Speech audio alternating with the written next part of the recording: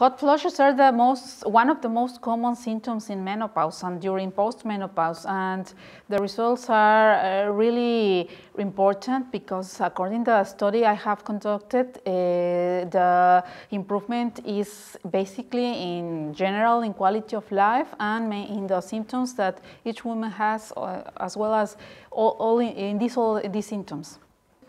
Uh, many observational studies have uh, reported uh, good results and improvements in, in quality of life and in vasomotor symptoms, but uh, there are few randomized control trials uh, specifically for depression and menopause. So I, I think I, I, it may be due to placebo effect, so can I, I decided to, to, conduct and design this uh, randomized control trial.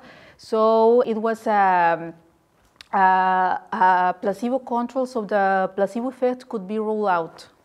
We compared uh, individualized homeopathic treatment versus fluoxetine versus placebo.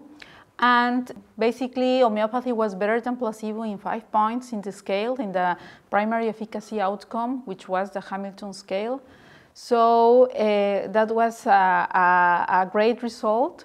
Uh, in case of homeopathy, in, in case of um, complaints, uh, according to the Greene, Greene, Greene, climateric scale, we found uh, that homeopathy was better than placebo in 8.5 uh, points.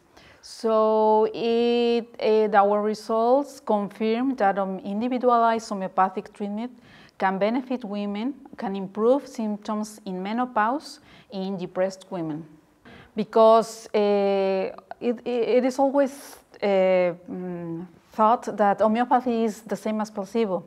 So we compared in individualized homeopathic treatment versus conventional antidepressant versus uh, placebo.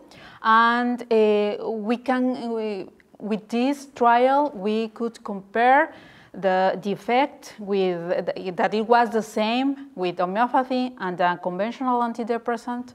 And we found that uh, homeopathy was better than placebo in improving depression in climateric women.